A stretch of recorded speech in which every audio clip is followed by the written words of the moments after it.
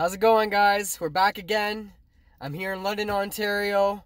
I'm at an auction place and you see me do a few different ones. I've gotten electronics, like different things for household items, stuff to do outside.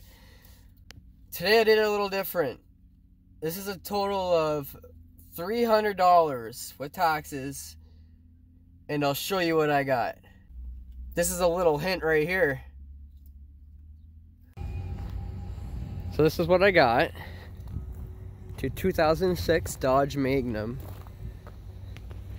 Has transmission issue, so I'm gonna get my mechanic to fix it. Other than that, it looks alright. Alright guys, the car is on the tow. We're bringing it back to Windsor. I just gotta do a transmission fix on it, which is gonna cost anywhere from 800 to $2,200. So that's where this price of this car goes up. But then when I buy it, I'll sell it and either make anywhere from 300 to $1,000 off this thing. I'll take a better look at it um, when we're on our way.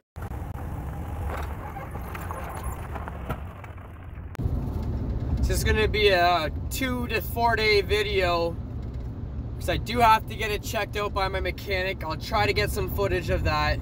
I do have to get a cost and see if it's worth it to just sell it as is and make a little bit of money off it or put some more money into it and try to make a decent return. We'll see my different options, go the better route, and all right, this is my first check on the highway. Gotta make sure the hitch is still on good.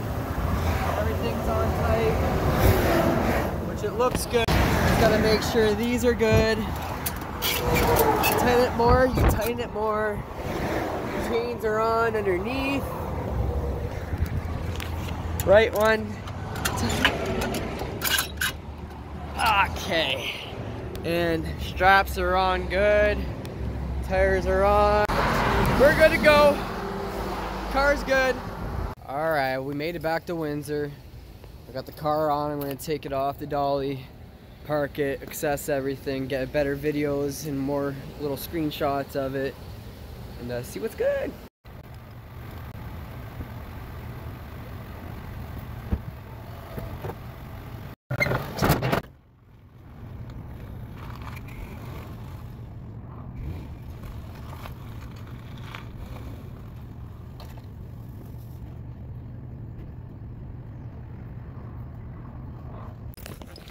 All right, gotta bring the dolly back to U-Haul, and then we'll get home and check it out.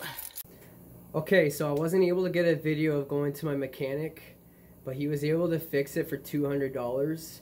So in total, so in total, with purchasing the car and getting it fixed, cost me $571.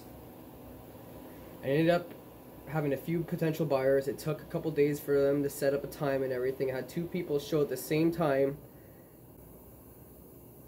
I was able to make $1,100 off this car. So got my money back and was able to make $529 off this sale. I know that doesn't seem like a lot, but I did have to do minimal work. It was only a six hour day and I just had to post a few ads.